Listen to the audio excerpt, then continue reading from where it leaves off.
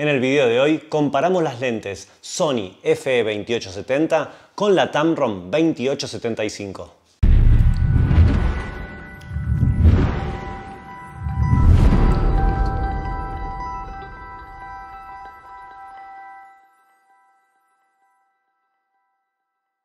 Si te interesa la fotografía y el video, seguramente ya hayas visto decenas de videos comparando estas dos lentes que te acabamos de mencionar. Nosotros por ello no nos vamos a ocupar de describir todas las diferencias, virtudes y desventajas de cada una de esas lentes, sino que te vamos a mostrar en la práctica cómo funciona cada una de ellas para fotografía y video. Pero en primer lugar, tengamos en cuenta algunas características y diferencias básicas que tienen estas dos lentes.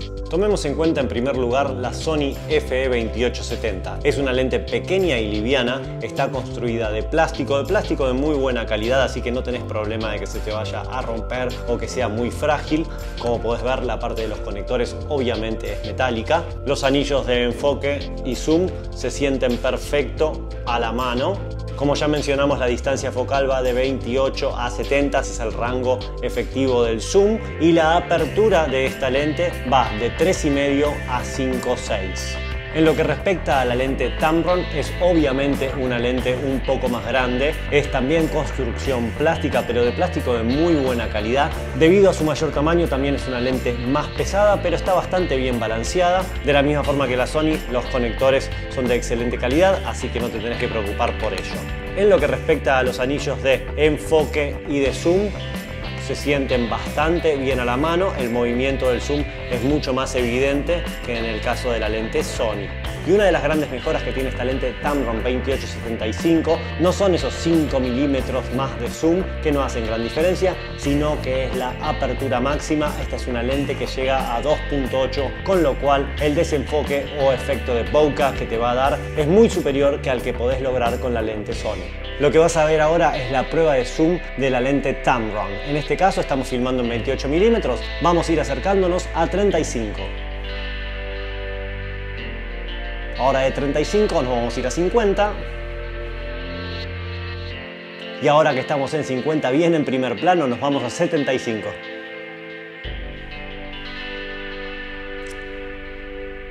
Ahora vamos a hacer la prueba de zoom con la lente Sony. Estamos obviamente filmando en 28 milímetros y nos vamos a ir a 35.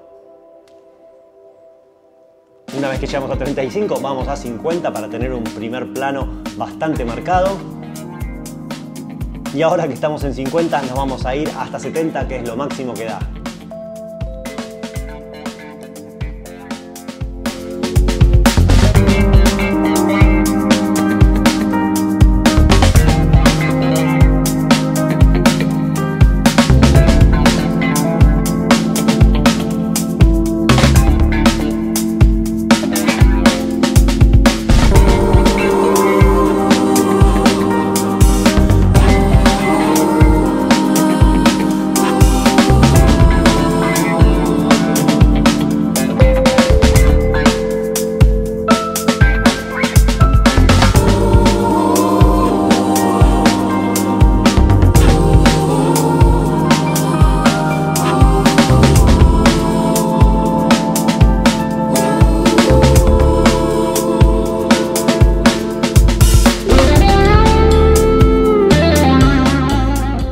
Lo que quiero que veas es una prueba de movimiento. Ninguna de estas dos lentes tienen estabilización, así que me voy a mover un poco para que veas cómo registran o cómo amortiguan el movimiento.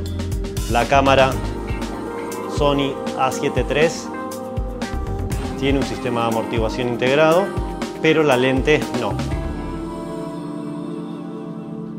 Ahora vamos a hacer la misma prueba de movimiento, pero con la lente Tamron, ¿sí?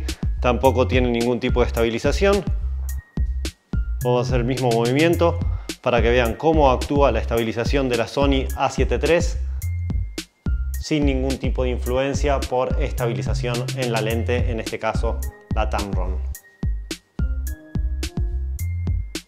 Ya pudiste ver estas dos lentes en acción, así que dejamos la decisión en tus manos. Para nosotros la lente Sony FE2870 es una opción excelente, de hecho es la que viene incluida con la cámara Sony A7 III, así que te da la opción de contar con una excelente lente desde el primer momento que tenés la cámara. Ten en cuenta que si bien es una lente de kit, rinde mucho mejor que todas las demás de la competencia, con lo cual esto la hace bastante sorprendente. Ahora, si querés mejorar tu equipamiento de fotografía sin gastar una fortuna, la opción de la Tamron 2875 es más que ideal. No vas a conseguir otra lente que tenga estas mismas características y esta calidad tanto para vídeo como para fotografía por este rango de precios. Considera que es una lente que cuesta 800 dólares precio Estados Unidos, es el doble de lo que cuesta la Sony, pero te permite mejorar todo tu equipamiento de fotografía un 100% o más. Esperamos que este video te haya servido. De ser así, no dejes de darnos un me gusta. Si todavía no lo hiciste, recordá que te podés suscribir a nuestro canal de YouTube, activás las notificaciones dándole a la campanita